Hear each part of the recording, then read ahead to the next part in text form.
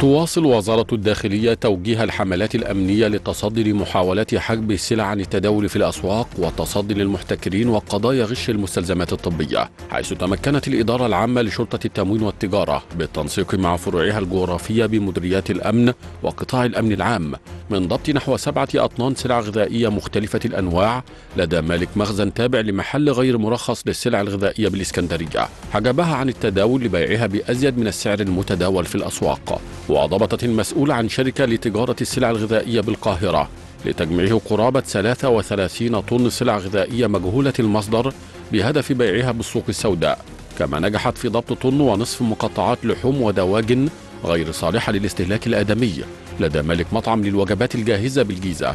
وعلى صعيد ضبط المستلزمات الطبية التي يتم حجبها عن التداول أو التي يتم غشها استغلالا لإقبال المواطنين عليها. تمكنت الإدارة من ضبط نحو ثلاثة آلاف عبوة وقطعة مستلزمات طبية. عبارة عن قفازات يدوية وكمامات طبية. جمعها مالك محل للمستلزمات الطبية بالشرقية لبيعها بأزيد من السعر المتداول بالأسواق. وضبط مالك محل للمستلزمات الطبية لحجبه 15 ألف قطعة مستلزمات طبية عن التداول بالأسواق لبيعها بأزيد من أسعارها.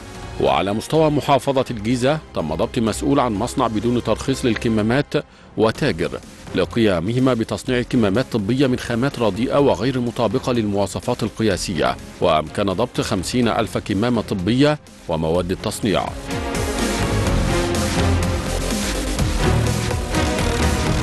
وضبط ثلاثة أشخاص يقومون بتصنيع كمامات طبية غير مطابقة للمواصفات وبحوزتهم أكثر من خمسة آلاف كمامة معدة للبيع وأخرى تحت التجهيز ومواد وأدوات التصنيع.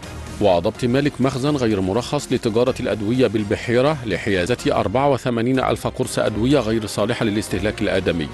وبذلك بلغ عدد ما تم ضبطه من قضايا تموينية متنوعة خلال 24 ساعة على مستوى الجمهورية 1046 قضية.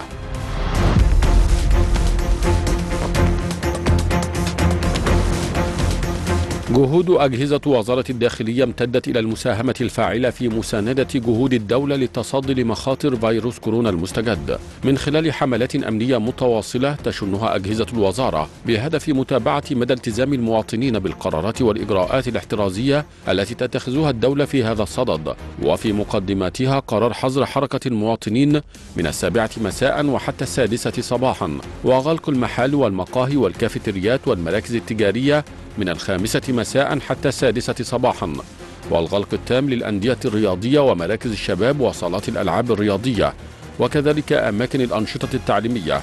ونجحت خلال 24 ساعة في غلق 1084 محلا عاما خالف قرار الغلق وضبط 222 قاضية تداول شيشة. وغلق 312 مكانا لأنشطة تعليمية. وسوف تواصل وزارة الداخلية أداء دورها الفاعل للحفاظ على أمن وسلامة المجتمع.